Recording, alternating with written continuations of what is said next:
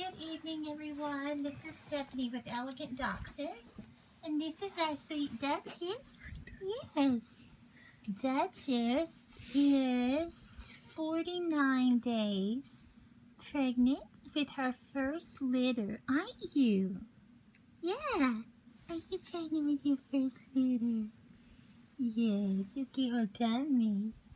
Look at her tummy. Yes, we're beginning to see some puppies move.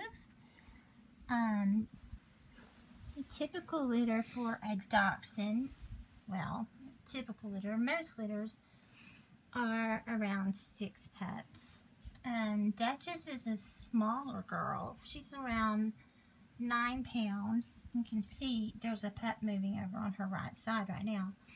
Um, but it looks like Duchess may be um, is going to have a, a really good sized litter um, for us. So we are making her comfortable and she is just queen of the castle. She's our little sweet girl, aren't you? Yes. She's mommy's sweet girl. Yes. And um, her sire is Satch.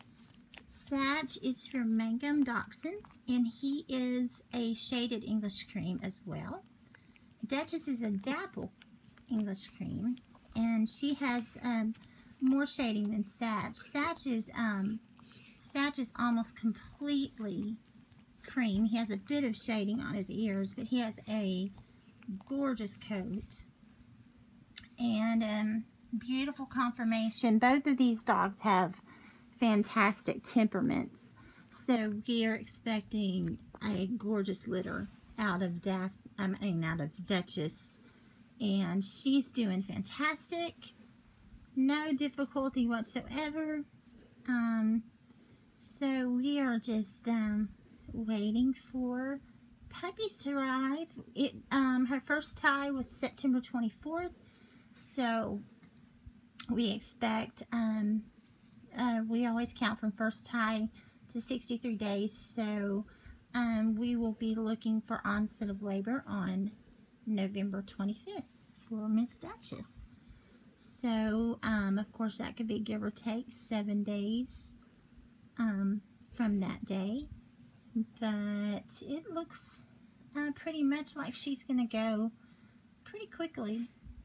And um, she's doing great she's been healthy and running and comfortable and she's a very uh,